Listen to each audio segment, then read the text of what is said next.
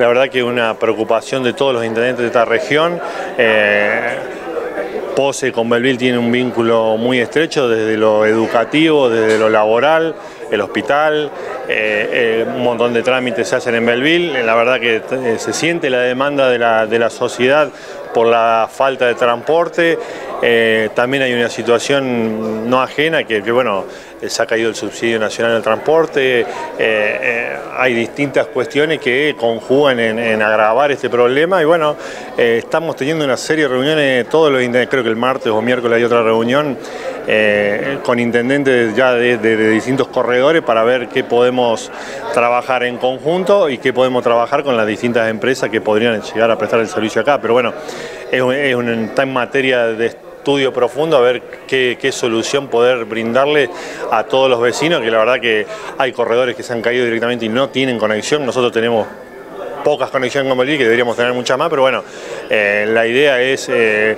eh, estudiar bien la situación, bien los costos y ver qué, cuál es la mejor solución para eh, entre todas las comunidades de toda esta zona. No, se habló de una empresa en particular ni nada, porque es, un problema, nosotros también lo sufrimos acá, pero es un problema a nivel nacional y provincial completo. Después de la empresa que esté cubriendo los distintos corredores, eh, eh, tiene el mismo problema, o sea, es la misma problemática que el Cuata, o sea, hay corredores que son rentables y, los,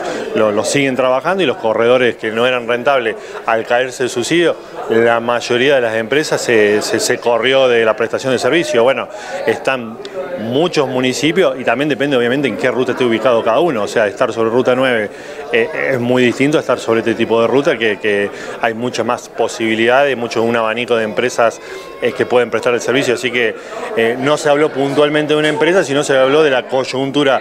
nacional y provincial y general que, están pasando en distintas localidades con distintas empresas y bueno, ver qué, qué qué nosotros los municipios estamos predispuestos a,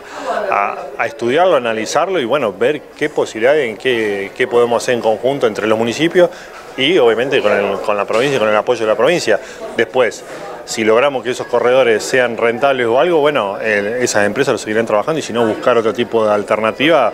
para que nuestros vecinos se, puedan trasladar porque... Eh, y algo que